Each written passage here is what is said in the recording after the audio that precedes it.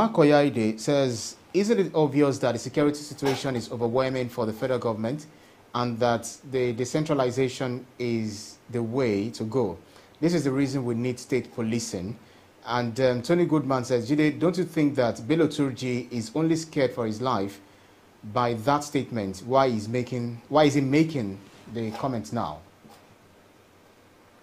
Now, I don't think. See, for some of these guys, they live for the day. They don't care if death comes. In fact, I said some time ago that one of the bandits said the people who go to mosque to pray, the people who go to church are cowards because they are afraid to die. So these guys are not afraid to die. So I don't think this is, I don't even think this is cowardice. Anybody who takes to the kind of life that uh, uh, Turji has uh, decided to live knows that death can come anytime.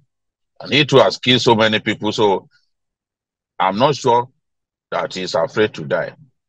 But he wants to live for as long as he can. He wants to enjoy life for as much as he can enjoy. So we have to deny him the freedom of moving around, of sending his people to terrorize our people, taking money from our people before they can have access to their farms and all that. I mean, you can't have a government within a government. If it's forcing people to pay tax, it's not FRS for God's sake. And these people, there are places where Turji uh, is in complete control, and he, he, removed the district head in those places and, uh, uh, and put his own uh, district heads. This is what he's doing in, in, in Sokoto uh, and some other places. It's, it is his own people that are in charge. They've seen Turji even attending mosque and addressing the people. So why shouldn't we kill him? I agree that the, the, the security problem is almost overwhelming, but yeah. we also need help, whether in form of training or in form of supply yeah. of armaments. We need it. Look at what well is said. happening in Ukraine with American weapons. See the way Russia is being disgraced. Yeah. Yeah. See the way Russia has been disgraced. You occupied uh, uh, Ukraine since March.